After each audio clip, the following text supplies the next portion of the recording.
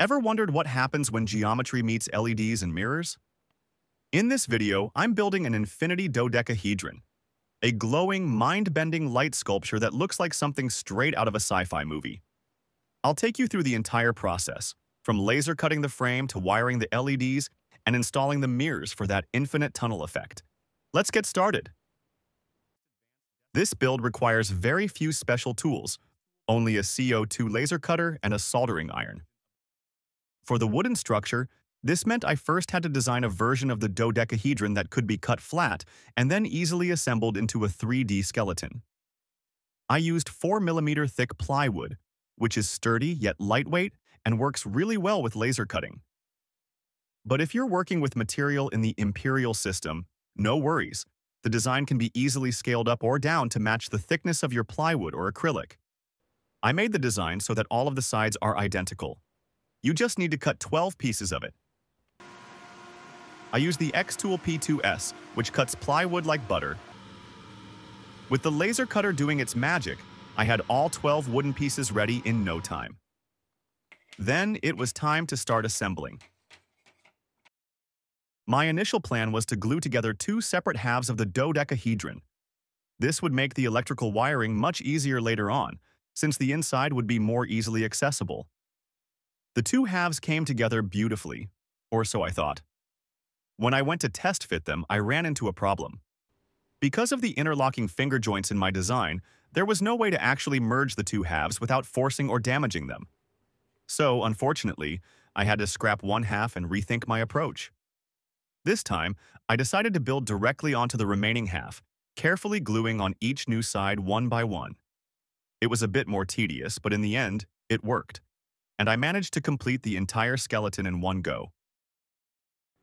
The result turned out beautifully. But if you're building one yourself, here's an important tip. When gluing the pieces together, make sure the finger joints on all adjacent sides are perfectly aligned. This step is crucial. Neat, flush joints will ensure that the overall shape stays accurate and the dodecahedron doesn't end up warped or uneven. A little extra attention here goes a long way in making the final piece look clean and geometric. Next, I gave the entire wooden frame a coat of black spray paint. This step isn't strictly necessary, but I had a specific reason for doing it. By painting both the inside and outside in black, I figured the internal reflections from the LEDs would have better contrast. The dark surfaces help the colors pop more vividly, making the infinity effect even more striking. And honestly, it just looks cleaner and more polished overall. You could cut everything out of black acrylic, but since it is quite expensive and more difficult to glue together, I decided to go with wood. Then I moved on to preparing the LED mounts. I designed and cut a set of small brackets that would hold the LED strips at just the right angle inside each edge of the dodecahedron skeleton. These brackets are crucial. They ensure that LEDs are positioned precisely along the edges, facing inward to maximize the reflective infinity effect. I cut the LED brackets out of 2mm thick plywood. Ideally, black acrylic would have been a better choice since it's sturdier and already dark. But I didn't have any on hand. So instead, I spray painted the plywood brackets black to minimize their visibility inside the frame. For the lighting, I used a high-density WS2812B addressable LED strip with 144 LEDs per meter. You'll need to get 3 meters for this project, I'll leave a link in the video description. To fit the LEDs into the structure, the strip needs to be cut into segments of 10 LEDs each. To make wiring easier, I sacrificed one LED per cut so I could get larger solder pads on both ends of each segment, a small trade-off for much easier handling later on. While cutting the strip, I also noticed that some sections had already been manually soldered during manufacturing. I discarded these parts because they're slightly longer and the spacing between the LEDs is inconsistent, which makes them not fit properly on the brackets I designed. Once all the segments were ready, I began gluing them onto the brackets. Since the brackets are made of wood, the adhesive on the LED strips didn't hold very well, so I used a few drops of superglue just to make sure they will not peel off in a few years. I also pre-soldered the end pads, so it will be easier to solder the wires later. Next, I had to figure out how to wire all the LED segments together. I decided to connect all 30 segments in series, so they behave like one continuous strip. This setup gives me full control over each individual LED and allows for more complex and customizable visual effects. I found a helpful wiring diagram online and used masking tape to mark out all the wiring paths and data flow directions directly on the frame. This step made the wiring process much more manageable later on. Now, this method does make the wiring slightly more complicated, especially because some data lines need to loop back under the previous strip to reach the next segment. But thankfully, since the LED brackets are mounted across the edges, there's a small gap beneath each one. That space turned out to be perfect for routing the data lines cleanly out of sight. Once I had the routing planned, I started gluing the brackets in place using wood glue. For the seven segments where the data signal needed to be routed backward, I pre-soldered the wires and fed them underneath the brackets before gluing them down, which saved some of the hassle later. When gluing the LED brackets in place, you'll notice that the positive and ground pins run close to each other at the connection points. In cases where the same polarity pins meet, like two 5 volts or two ground pads, you can place them close enough that a single dab of solder will later connect them both, which is super convenient and saves a lot of time. However, be very careful when opposite polarities meet near the same spot. If a positive pad accidentally touches a ground pad, it can easily cause a short circuit and damage your power supply or LEDs. So always double-check spacing at those intersections. Once all the brackets were glued in place, I started soldering everything together. I use solid copper wire for the connections because it's much easier to work with since it holds its shape and doesn't fray like stranded wire.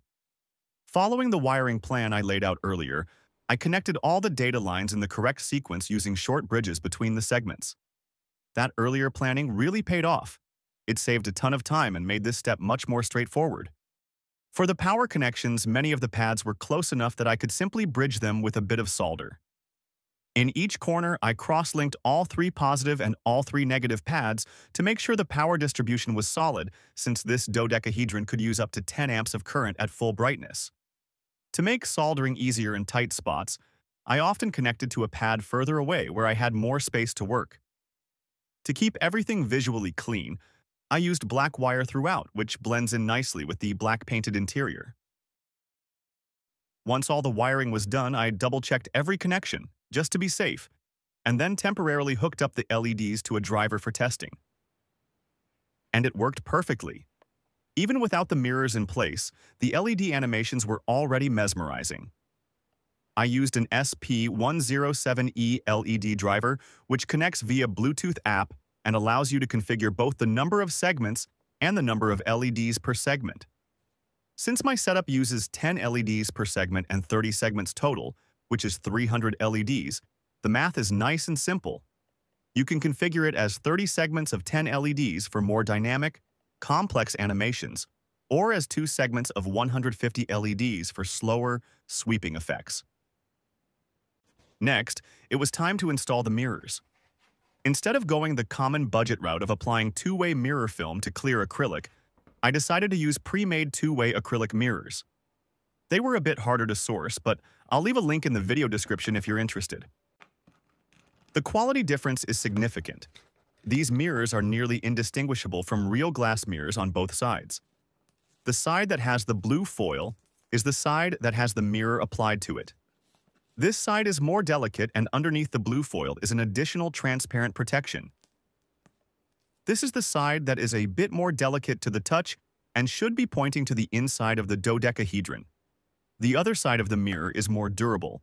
It is just like standard acrylic, and that will form the outside surface of the dodecahedron. You can also easily tell it's a true two-way mirror because it's semi-transparent from both sides, which is essential for creating the infinity effect. I used two sheets of this mirror acrylic to cut out all 12 pentagonal mirror panels using my Xtool P2S. This is where this laser cutter really shines. Using the dual positioning cameras, it allows to efficiently use the entire sheet and make sure that the design will fit on it as it is a tight fit. But it never hurts to buy a spare sheet for just in case. Also, a CO2 laser can handle transparent materials, which is what diode lasers can't cut. For three of the panels, I added a small chamfer to allow the power cable to pass through without obstruction. To install the mirrors, I used black universal silicone sealant. I had tested it beforehand to make sure it wouldn't damage the mirror coating and that it would bond well with both acrylic and wood. I carefully glued each panel in place, making sure that they are nicely aligned. I did this in several rounds to let the sealant dry to fix the previous mirrors in place before proceeding to new ones. And once they were all secured, I filled in the edges with extra silicone to give a clean finished look. One major advantage of using silicone instead of epoxy or other stronger glues is that it remains flexible. That means if I ever need to service the LEDs inside, I can remove the mirrors without destroying the entire structure. I also designed a simple stand to hold the dodecahedron in its optimal orientation and to house the LED driver neatly underneath. To speed up the process, I used an online box generator for the design. It's a handy tool, and I'll leave a link in the video description if you'd like to check it out. Once the stand was ready, the final steps were simple. I removed the protective foil from the mirrors, placed the dodecahedron onto the stand, and powered it on. And that's when the magic happens.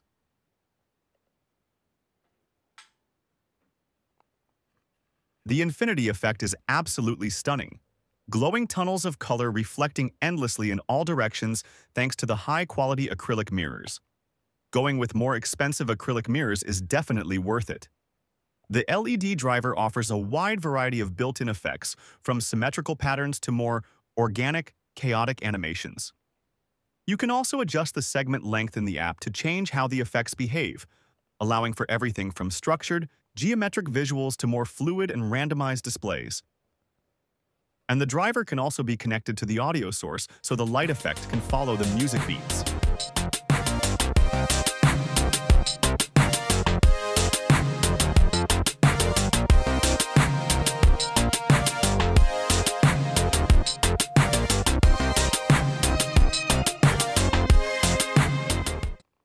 If you'd like to build your own infinity dodecahedron, I've put together everything you need. You'll find a link in the video description to my website, where I've uploaded all the laser cutting files, a complete bill of materials, and direct links to all the components I used in this project. I hope you have as much fun building this as I did. If you enjoyed this build, don't forget to give the video a thumbs up, subscribe, and hit the bell icon so you don't miss future projects. I've got more laser cut builds and creative tech coming soon, so stay tuned and thanks for watching.